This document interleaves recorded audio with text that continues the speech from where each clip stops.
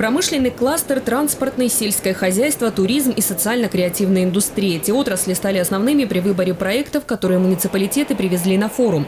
Всего от Краснодарского края почти 450 инвестпредложений. Уже за день до открытия на площадке все было готово к большому разговору между бизнесом и властью. Мы привезли пять проектов, из них два будет э, здесь на подписание, три мы предлагаем потенциальным э, инвесторам. А, Значит, общая сумма составляет 746 миллионов э, рублей.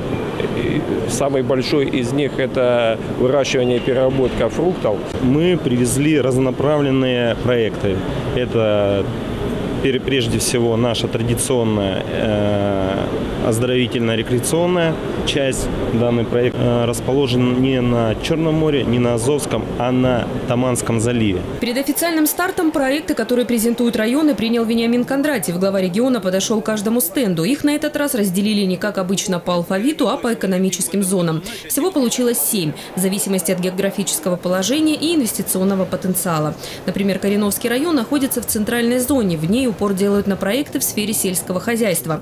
Привлечь инвестора местные власти решили проектом по выращиванию грибов. До а, начала данных проектов, вот именно по русскому грибу, 85% шампиньонов завозилось и за пределы Польши, Германии и так далее. Рынок колоссальный. Наверное, то есть что сегодня э, делает наш э, агропромышленный бизнес, он реагирует на спрос, да? Да. И это абсолютно правильный подход и подход глав муниципальных образований. То есть э, готовить те инвест-предложения, которые максимально отвечают сегодняшнему спросу на рынке. Да, и тогда, конечно, проще будет находить инвестора. Если они не э, с неба, эти инвест-предложения, а продиктованы рынком, спросом на рынке, дефицитом на рынке, в том числе продукции или услуг, как вот коллеги некоторые предлагают, тогда это будут очень результативные проекты, конечно, доведенные до результата.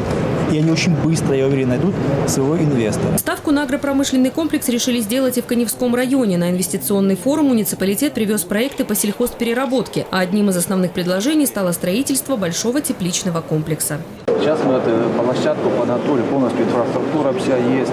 Э, 874 миллиона, 10 гектар площадь, это хороший, современный, который будет 7 тысяч э, тонн овощей э, вырабатывать. Сегодня, понятно, у нас э, определенные страны конкуренты.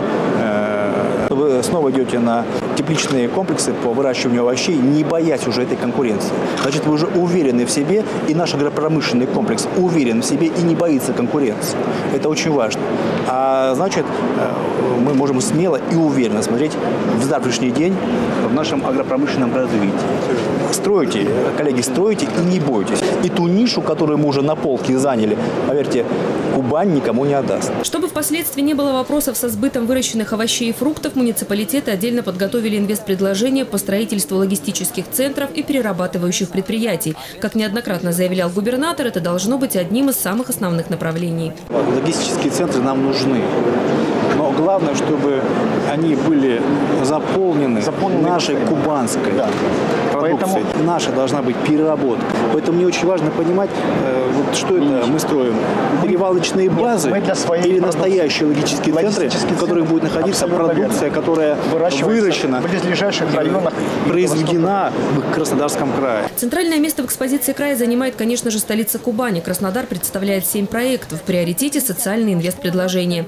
Отдельно развитие инфраструктуры города. Например, чтобы облегчить ситуацию на дорогах, могут построить канатное метро. Мы сегодня говорим о пяти э, направлениях, то есть э, самые загруженные направления. Это у нас э, микрорайон, э, который э, включает в себя стадион Галицкого. Дальше земельный участок именно в московском микрорайоне у нас Восточный Кругляковский. Это у нас Красная площадь. Красиво заявили, красиво показали. Берем время полгода, чтобы все взвесить, и тогда горожанам, глядя в глаза, сказать, или мы начинаем, или не начинаем. А если уже скажем, что начинаем, тогда назвать сроки, когда начнем и когда закончим, и когда в городе появится канатное метро. Продумывать логистику в соответствии с ростом краевого центра приходится и ближайшим к нему муниципалитетам. Горячий ключ, Северский и Денской районы напрямую зависят от дальнейшего развития кубанской столицы. Евгений Иванович, так как мы ближе всех к городу Краснодару, и стратегия развития 2030 предполагает следующее, что это непосредственно логистические центры, то есть мы первые из города, когда будут выходить промпредприятия из складов, воды, мы должны первые, кто предоставить эти места. Тут сейчас мы с мэром Краснодара говорили о том, что потенциально Краснодар должен быть круглым. И двигаться он начнет, чтобы стать круглым, иметь эту форму, в сторону Динской. Вот Динская сегодня должна синхронизироваться глава района с мэром Краснодара для того, чтобы понимать, где развитие Краснодара в приоритете. Чтобы не получилось так, что они сейчас промзоны понаделают, а потом эти промзоны в ближайшее время, а это может быть лет через 10, а может быть через 5, уже будем выносить, вероятно, в твою сторону. Поэтому здесь надо вопрос этот, как бы взять на особый контроль, чтобы своим промышленным потенциалом Динской район не убил будущее.